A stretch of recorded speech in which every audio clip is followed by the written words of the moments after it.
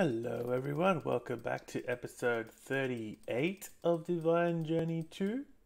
In the last episode, we went to and returned from uh, Eden, which was cool. Um, I did have to go back after the end of the episode because I totally forgot about um, opening. So we got the, the key to the door and then I just like immediately came back to the base and I forgot I had to actually open the door and get the loot inside, which I went back and I did. I got this unholy essence. Uh, so that was a bit annoying. It was slightly easier to go back the second time. Um, and yeah, we got seven of them. So I don't know if we have to go back and do another one if seven is enough, but uh, I guess we'll find out. It is used in a bunch of different things. One, two, three, four, five six, seven. So I guess we have exactly the right amount if we only need one each of those statues. That'd be good. Um, but yeah, at the end of the last episode, oh, I'll just quickly collect that quest. Um, I, I figured we'd need to start working on this thing here, so we need to get the Shoggoth flesh, I think that's called, isn't it? Shoggoth flesh. Yeah, this thing. Um, and this needs um, empowered oil, uh, which is kind of a complicated recipe. We need crystallized oil and empowered canola seeds, and this one we need uh, crystallized canola seeds and refined canola oil, and then this needs canola oil, and then we need so it's a bit of a going to be a bit of a process. So I have set up down here in our little uh, farming area, whatever you want to call it, um, some canola seeds. I don't know how many we will need in total. Where are they? Here. Um, so yeah, I have eight stacks of seeds and 30 stacks of canola. Um, if we need more, I might have to set up a you know a couple of layers, kind of like we have over here with the with the flax. So we'll see how we go. That's enough at least for us to get started. Um, and the other thing that I've been doing is in order to do this, like because this is going to be kind of a complicated thing with like throwing seeds into fluids in the world. Um, I figured integrated dynamics would be the way to do it. So uh, over here, I've unlocked all of these quests. I built all of the integrated dynamics stuff. I've got them all set up in here with recipes. Um, and I have a little stockpile of some of the things that I think we will need today. Um, so for the mineral trees, I actually have, oh, you can see one there. I set up um, a couple of, where's the center? I, I set up this side of the this plant sower with mineral saplings. So, oh, I'm trapped. So yeah, we have heaps of mineral, uh, lots of mineral coming into the system. Uh, yeah, so I have oh 10,000 now. I also have a little setup. Um, I don't know if this is probably if this is going to be the way I'll keep it forever. But over here at the storehouse, I added a roof to this little room here. So this is where we had our alloy smelter and our sag mill. I added an extra floor up here. Um, it's currently empty except for this. Um, this is just uh, the mechanical squeezer cooked up to a mechanical drying basin. And then I can basically put uh, both mineral and popped chorus fruit in. So the popped chorus fruit gives these guys and then the mineral obviously gives the crystallized mineral. So I don't have it hooked up to the ME system or anything, but I figured um, you don't need too much of this stuff, and I think I can just like you know craft a, a big batch of it just like I did there every now and then, and hopefully that's enough. So if you look here, I have yeah, I have a bunch of these things, a bunch of these things, some of these, a bunch of variable cards. Actually, let's get a few more of those uh, a bunch of logic cables. Um, I did have a chest. Where did I put the chest? Uh, the programmer. And wait, I thought I had a variable chest. This one, variable store. Okay, so let's get a couple of those going too. We'll need those. Oh, what are we missing? Coke dust. Ah, so yeah, this needs um, hyper diamonds. That reminds me of another thing that I made. So let me just uh, uh, wait, maybe I won't. Um, so over here, I made a little setup for creating hyper diamonds. We're going to need lots of these going forward, right? So the hyperdiamond is, is made by um, exploding industrial grade graphite dust with TNT. You get hyper diamond out of it. So I made a little setup down here. Um, because we have this area uh, claimed, it doesn't the the explosions don't actually do anything. So the obsidian is really just for like um, like for looks, you know. So basically, I have a dispenser here where the TNT goes. I have this precision dropper, which is where the industrial grade graphite goes. And then over here, we have the setup which controls it all. So here's our recipe. We have 16 industrial grade graphite dust plus 1 TNT equals 16 hyper diamonds. It all goes into this chest, and then these conduits put them into um, the, the precision dropper and the dispenser. So the dispenser, obviously, when it gets a redstone signal, it will dispense the TNT and ignite it. And then we have um, this uh, ranged collector to pick up the hyper diamonds. And then, ooh, that was a bit of lag. I have this clock here set to, I might actually increase it based on the last test I did. Um, so basically what happens is we have th this um, clock is turned off at the moment because of the redstone torch. This um, level emitter is set to turn on whenever we're crafting hyper diamonds. So as soon as this uh, redstone signal turns on, that turns off this which unlocks the clock and then it, it'll do one complete cycle and then it will give you a tick and that tick will cause the uh, the dispenser in here to release the TNT. Um, so yeah, that's how we make our hyper diamonds now. I haven't tested it doing more than 16 at a time. I think it should work in theory. We may end up getting some extra TNT explosions, um, but it shouldn't destroy any of the diamonds. I guess we shall find out. Uh, one thing I've also done is um, over here I hooked up this um, drawer to the ME system. So now all of these coal cokes end up in being in the ME system. So I can see we've got 32 stacks and you know we have some backed up. And I have some planks here too. I guess we can move those over. These are all just manually as well because the treated wood we don't need like infinite. I don't think we need infinite. Hopefully not. Um, yeah, so let's, uh, I gotta make a quick recipe for the, the coal coke, coke dust. I don't, I guess I didn't have that yet, okay. We'll put that in, uh, I don't know, any old crusher will do. I think I have a crusher, yes, the ME, the, the, the Mekanism one will do. Okay, so now we should be able to do variable chest or variable store, whatever it's called, and how many hyper diamonds is it going to make? Oh, that was none. Let me make one more. Now we should need, oh yeah, see we need, whoa, 256. I guess because we make 16 at a time, right? Where's the hyper diamond? Wait, am I missing something? Why do we need the coal coke? To make coke dust? which is to make, I don't even know. Oh, maybe it's just hop graphite. Oh, hop graphite must be for the, the ME drives. Yeah, okay, never mind then. But yeah, so I can actually query uh, request. If I request one, oh, that's interesting. I don't have any darkstone recipe. Darkstone. Dark stone. Wait, that's not Darkstone, that's the wrong one. That one.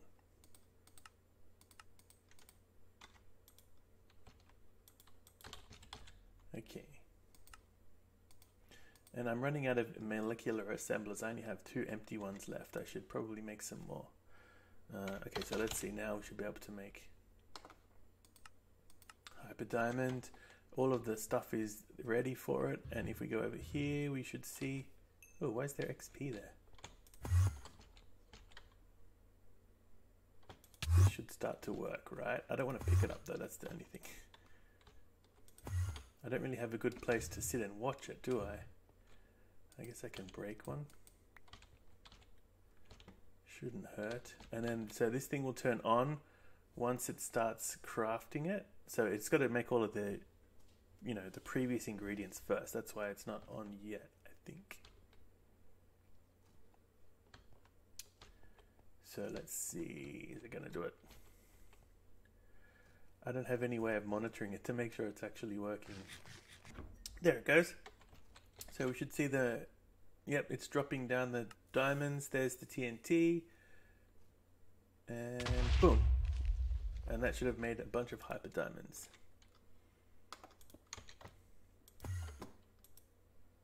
And there you go, there's 24 in there now. Okay. So let's um oh actually so let's yeah now the thing that we're going to work on is um this stuff we're going to get all the way hopefully oh I should probably collect all these quests shouldn't I so we're going to get all the way to um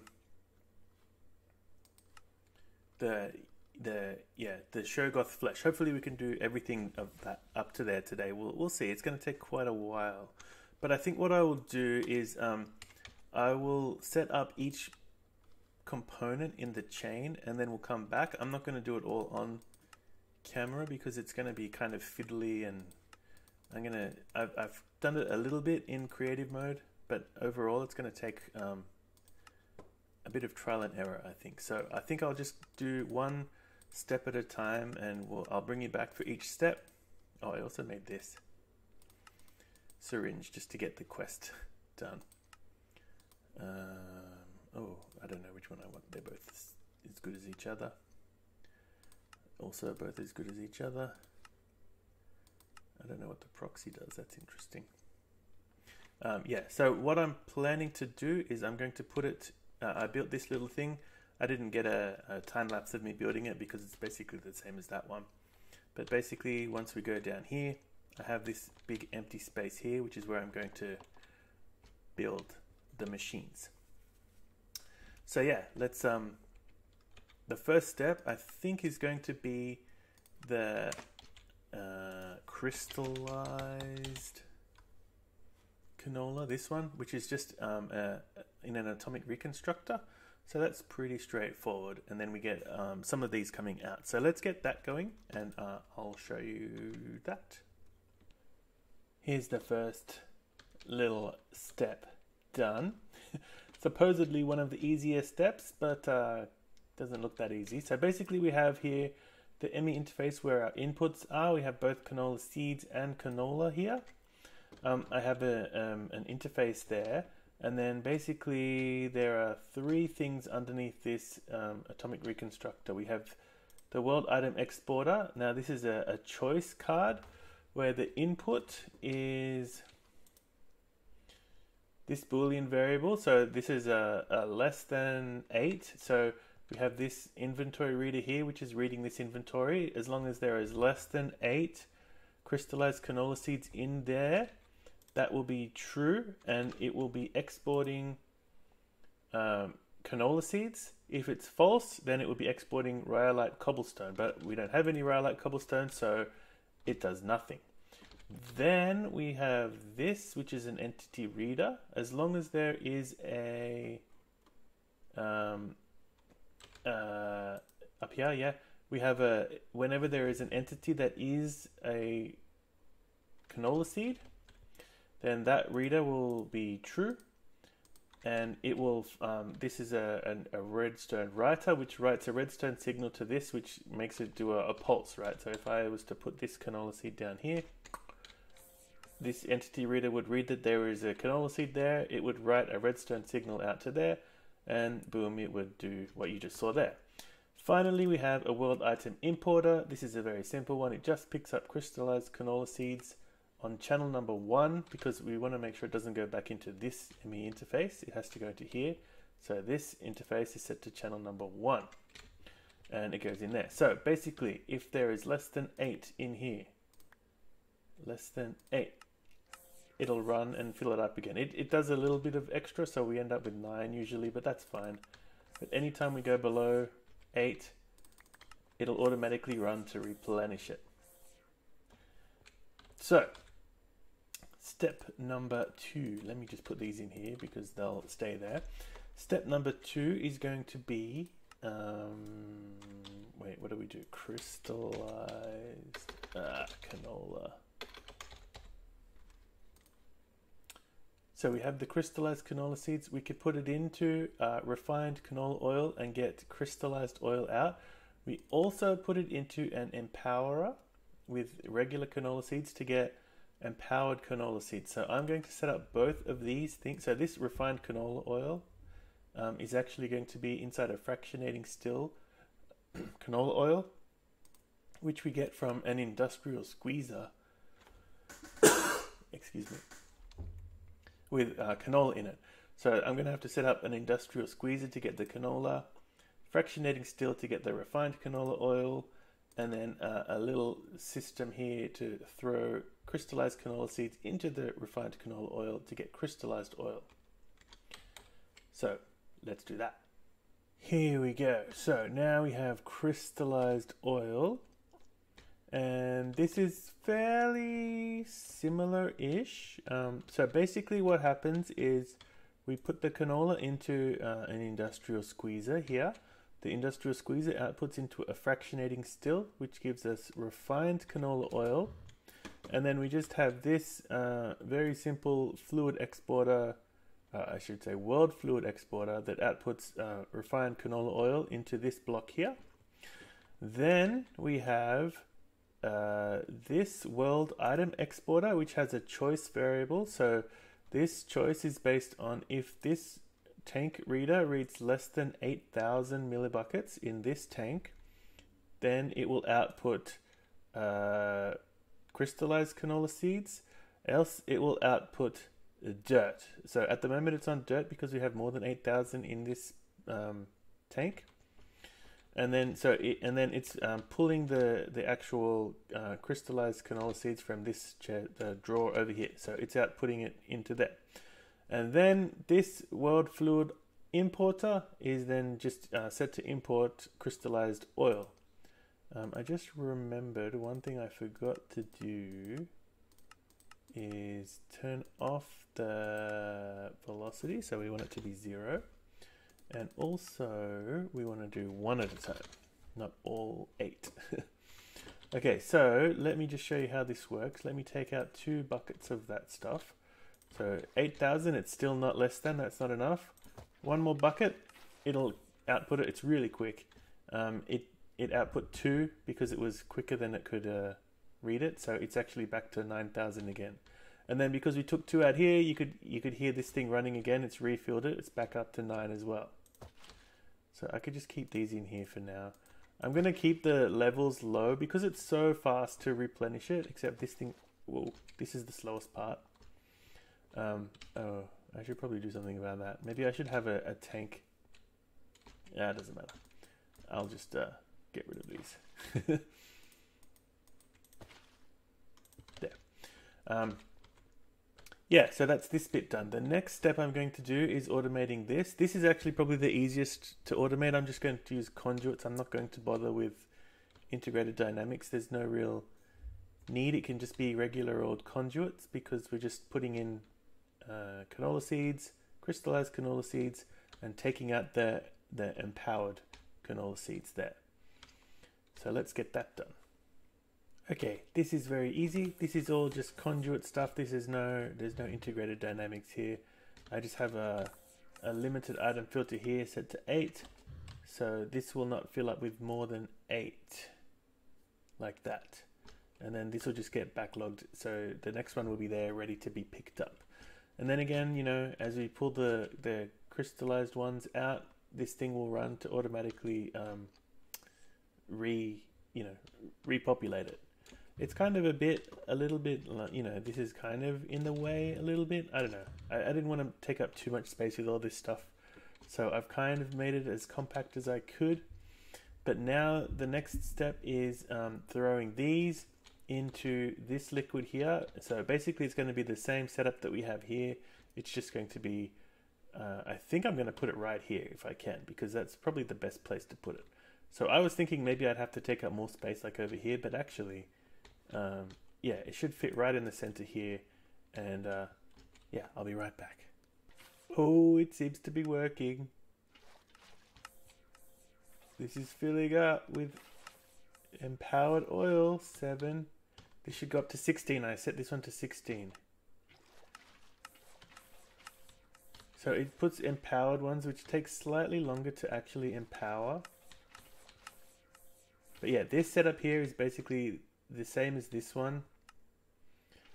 It's just, um, you know, different fluids and different items to go in it. But other than that, it seems to be working. Let me take a quick screenshot of all this. This is cool.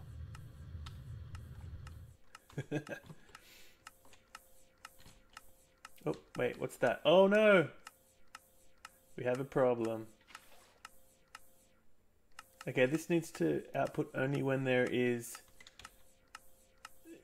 when there is uh, fluid to actually go out. Yeah, this is going too slow. Okay, okay, okay, okay, okay, okay, okay, okay. Quick, get up, get up, get up, get up. Wait, why is that not? Oh no. Yeah, why isn't it putting it out? Oh, it is. Okay. So hang on, let me put those back in the back in here. And this choice needs to be uh, I wish there was a way to edit them. This needs to be there's less than 8 here and there's a fluid here. Because if there's no fluid here, it's just going to keep ticking out and it needs to wait. All right. That'll take a little bit of, and I might have to do the same here, I guess, because we don't want the same thing happening here. Although I guess this probably takes longer, but just to be on the safe side, it's probably better to have that there as well. Uh, alrighty, let's do that.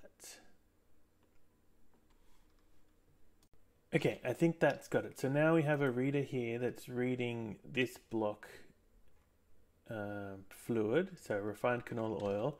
This uh, choice has been made much more complicated. It's now if this block contains refined canola oil and there is less than 8,000 buckets in this uh, tank, then we'll output a crystallized canola seed. Um, so if I temporarily disable this and then I pick this up and then I take this out, it won't output it because it doesn't have the fluid there. If I put the fluid there, oh wait, wrong fluid. If I put this fluid here, oh, and I'm going to take this out as well, then it will output it. See that? So it needs to have both the fluid and the, the tank to be less than what it's supposed to be. Yeah, okay, good. And then I can probably do the same here. I think this one is less likely to be a problem because the empowering of these seeds takes longer. Um, oh, although maybe not. Maybe because this only has eight. No, yeah, this will definitely this will this will generally be fast enough, I think. But I think just to be safe, I should do the same thing because I definitely don't want to be wasting the empowered ones because those are kind of painful to make. So yeah, I'll do that as well. And I'll also make this um, a lot nicer but we've basically done these two quests. And in fact, we have in fact done these two quests. oh, a triple battery. So now we can make the Shoggoth flesh, which is just um, a fluid transposer with this stuff and zombie flesh. So let me go and grab that. Fluid transposer. And I'll throw all this stuff back into the system as well because uh, yeah, I'll work on the cleaning that up later on. Uh, blah blah blah blah blah. I probably shouldn't have thrown all of it in there. And then let's get an ME interface because we'll make this a recipe. I guess.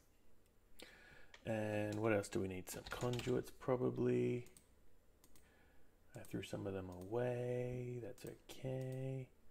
And all right, so let's let's be let's wait till this is all finished building. Alrighty, so that's now got empowered oil in it. Um, this is this should cause everything to wait. Why is that not picking up the? Oh boy, what happened?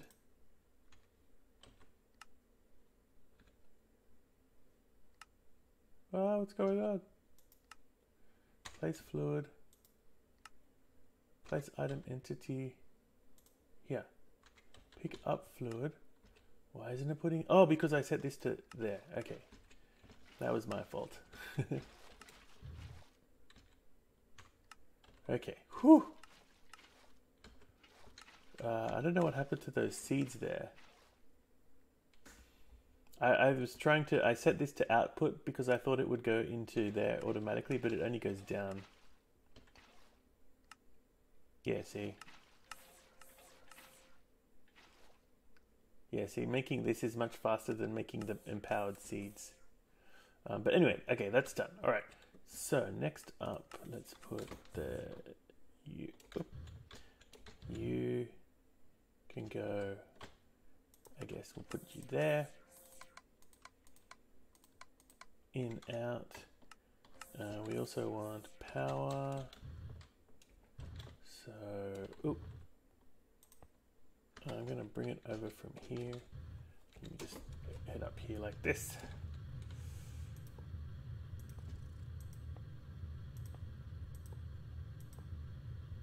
Way will do. Let me get some zombie flesh. I mean rotten flesh. And we'll make our first piece. Oop.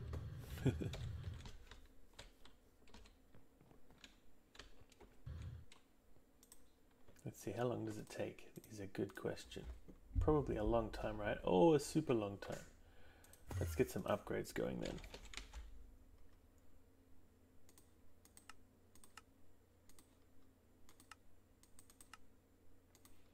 I wonder how much does it take as well.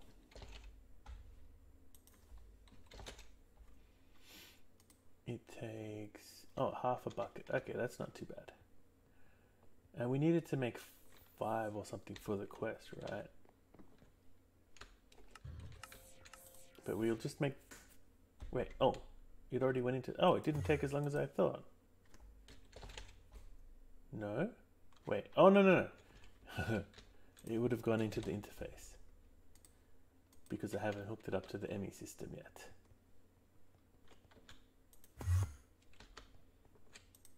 There it is there. Okay, good. So let's uh, hook you up to... I guess I wanted to hook up to there. Oh man, I got too many cables going on. I'm going to try and hide a lot of these cables in the ceiling. Like have a, a ceiling on this thing.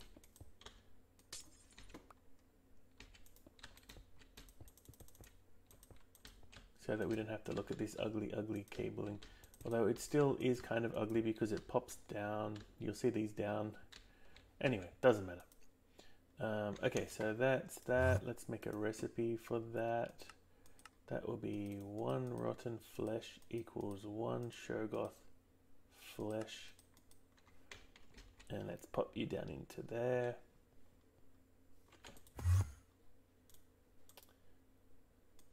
like so. We don't want to hide, show you in the interface terminal. So let's, uh, how many did we need? Five. We should be able to make four more. And let's see how that goes. Should be going, yep. Okay, yeah, it's not that slow, but we should have our upgrade kits now ready to go. So let's pop them in and we also, did I make augments? I don't think I did. Let's get a few of them going too.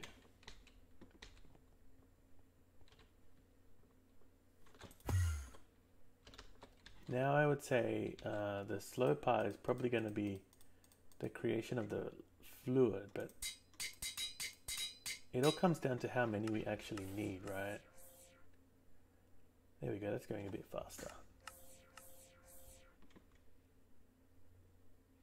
and we can pop in a bunch of augments there to make it even faster still. Okay, but that should be it. Now we should have enough for the quest. Right, there we go. I'm not going insane, am I? Who was that man with the shadowed face? What was that sound from my neighbor's attic? What leaves those scars on my door? What are those eyes that aren't eyes that move and write? I writhe, I see when I dream. okay, so now we can make all of these. These are all the statues. Um, uh, this is from Abyssal. Yeah. These are the ones that needed this thing, right? Yeah, so we should be able to make all of this stuff. I don't know how many monolith stones I have. That was Glod.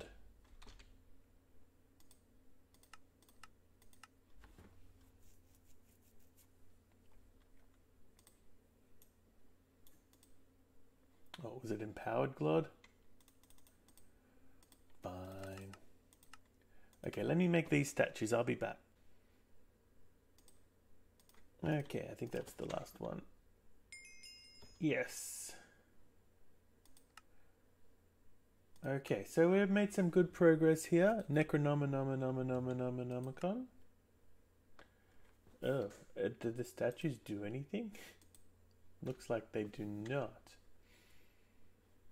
Using your statues craft the Necronomicon.